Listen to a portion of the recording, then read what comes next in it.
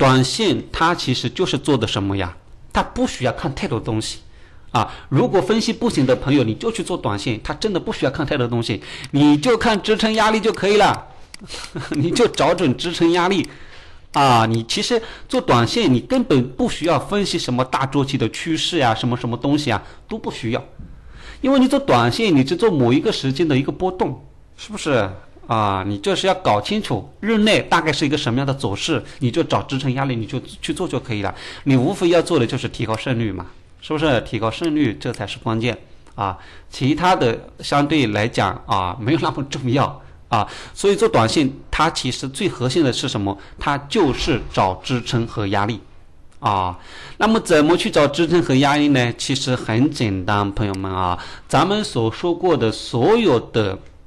东西它都在解决支撑压力啊，那么你去找支撑压力，你可以从几个点入手呢？指标是不是啊？指标我们用过什么？布林带是不是啊？就可以去参与去参参呃嗯参考啊，还有飞波也可以啊。第二个什么结构对不对啊？结构和走势当下是震荡还是什么？当下是啊往趋势还是什么啊？是不是你搞清楚这一些？啊，最后你去找共振啊，其实就这么一些东西啊。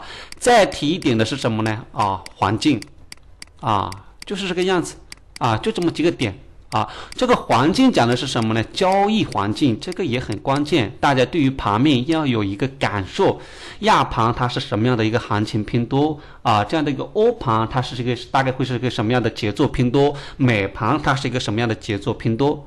啊，你只要搞清楚这些东西，其实做起来很简单啊。结构走势里面啊，我们有有颈线的支撑，有什么能量分割性的一个支撑等等等等，大都是我们三代系统里面细小的一个知识点呢，我就不在这里去展开啊。反正就是根据这些东西去找就可以了，对不对？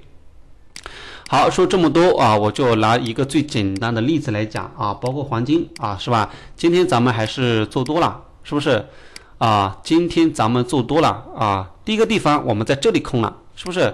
那你觉得在这里空要很大的一个知识技能吗？不需要啊，哈哈，要很大的知识技能吗？不需要啊。我们看的是什么？我们看的就是一个五分钟级别这个位置的震荡啊。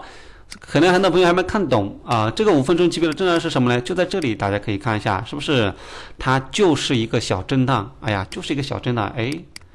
这不就是一个小震荡嘛？啊，这里不就是压力位嘛？那么在压力位，咱们就去做空嘛。然后又是压盘嘛，压盘它一般都不会走出什么大样的节奏嘛，所以我就做它的震荡嘛。就这么一些简单的思路，是不是啊？就这么一些简单的思路。好，咱们快进快出，立马解决战斗，是不是？啊，然后后面我们又做了黄金的多，我给大家简单说一下，这个多其实也是在找支撑嘛。这里是不是支撑？没毛病，其实这个点确实没毛病，这里确实是支撑啊，大家可以看到没有？啊，这里是不是前期的一个颈线的地方啊？再怎么样，我们在这里去做一个打点的机会，应该还是有的啊。但是呢，可能是周五这个行情没有比较常规的走势，按照正常的逻辑来讲，在这个位置去做黄金的打点，真的在短线上面确实我觉得是很容易去赚到钱的啊。随便有一个小小的反弹，三四十个点，我们的短线都立马就能够出来，啊，只要位置进得好，去赚点钱，其实真不难啊。那么呢，确实这里没有走出来啊。呃，我分析了，第一个确实有一个概率情况啊，它在这种位置，它也不是百分之百，所以这是第一点。第二个，它是交易环境的情况，可能到了下午，到了周五的这样的一个时间，行情相对来说它都不按常理出牌。